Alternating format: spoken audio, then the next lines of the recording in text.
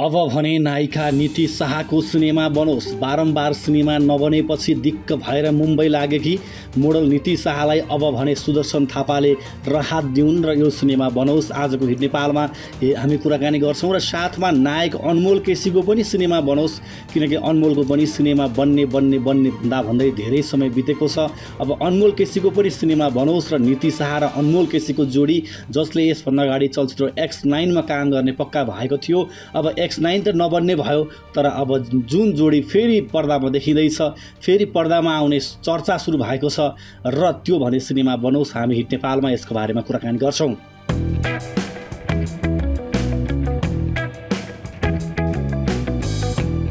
आदरणीय दर्शकबिन नेपाली सिनेमा इन्डस्ट्रीमा थुप्रै कलाकारलाई लक लागिरहेको समयमा मोडल नीति शाहलाई भने सिनेमा इन्डस्ट्रीमा लक लागिरहेको छैन। कि नीतिले जति सिनेमा साइन गर्छिन् ती सिनेमाहरू बनिरहेका छैनन्। त्यस कारणले गर्दा कतै नीतिले साइन गरेपछि सिनेमा नबन्ने पो हो कि भन्ने खालको एउटा म्यासेज पनि बजारमा गएको छ। र त्यसले नीति शाहलाई पनि दिक्क बनाएको छ किनकि नीतिले जति सिनेमाहरू साइन गर्छिन् ती कुनै पनि सिनेमाहरू नबनेपछि नीति आफैलाई पनि त्यसले तनाव दिने नै भयो। तपाईँलाई थाहा छ नीति शाहले चलचित्र एक्स नाइन साइन गरिन् त्यसपछि हुतुतुतुभन्दा अगाडि साइन गरेकी थिइन् नायिका नीति शाहले त्यसपछि चलचित्र कामिनो साइन गरिन् तर यी तिनैवटा सिनेमा बनेनन् जसले गर्दाखेरि नीति शाहलाई सिनेमा इन्डस्ट्रीले केही पनि दिएन भन्ने खालको लाग्यो र उनी मुम्बईमा विशेष गरी अभिनयको ट्रेनिङ लिन पुगेकी थिइन्। अनुपम खेरको स्टुडियोमा।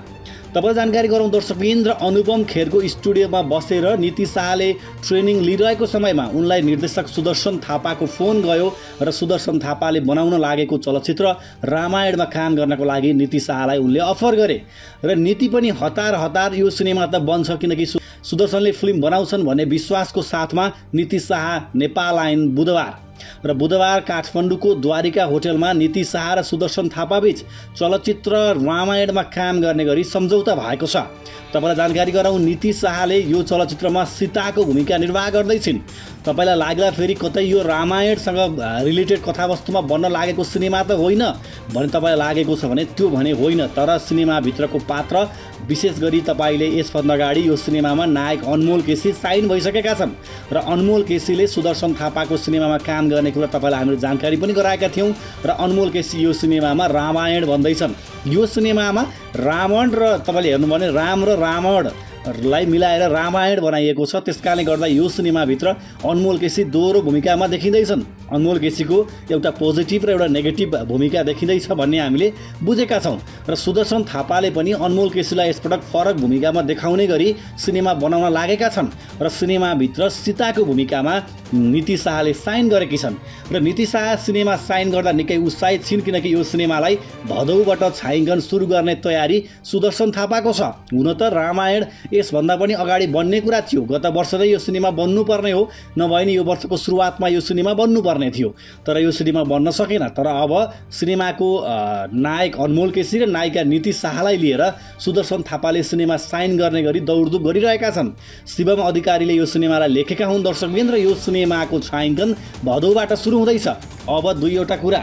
यो सिनेमा किन बन्नुपर्छ तपाईँलाई जानकारी गराउँ। एउटा नीति शाहले सिनेमा साइन गरेपछि त्यो सिनेमा बन्दैन भन्ने एउटा म्यासेज गएको छ। किनकि तिनवटा सिनेमा साइन गरेर पनि नबनेपछि नीति आफै पनि सिनेमा इन्डस्ट्रीदेखि थाकेकी थिइन्। त्यस कारणले गर्दा यो सिनेमा नीति शाहले सिनेमा साइन गरेपछि बन्छ र ढिलो आउँछ कडा आउँछ टाइपको हुन्छ भन्ने तरिकाको म्यासेज चाहोस् हाम्रो अपेक्षा यति नै हो। र अर्को कुरा अनमोल केसीको पनि सिनेमा साइन गर्दैमा बन्छ भन्ने म्यासेज बजारमा छैन। अनमोल केसीले पनि कि सिनेमा छोड्छन् कि सिनेमा बन्दैन भन्ने म्यासेज छ। त्यस कारणले गर्दा अनमोल केसीका लागि पनि यो सिनेमा बनोस्। र सुदर्शन थापा जसले लभ स्टोरी फिल्म बनाउनमा आफूलाई महारथी हासिल गरिरहेका छन् सिनेमा इन्डस्ट्रीमा उनको लागि पनि यो सिनेमा बनोस्। र सुदर्शन थापाले आफ्नै ब्यानरमा पहिलो पटक नायिका पूजा शर्मा बिना सिनेमा बनाउँदैछन्। त्यस कारणले गर्दा यो सिनेमा धेरै कुराहरूसँग जोडिएको छ। त्यस कारणले हा गर्दा हाम्रो आशा यो सिनेमा बनोस् र समयमै रिलिज होस् भन्ने हो।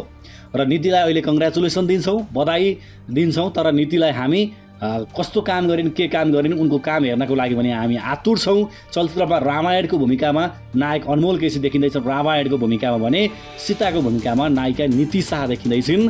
र तपाईँलाई नीति र अनमोलको जोडी कस्तो बन्छ होला भन्ने लागेको छ। कृपया तपाईँले हिट नेपालको च्यानलमा सब्सक्राइब गर्न नबिर्सनुहोला।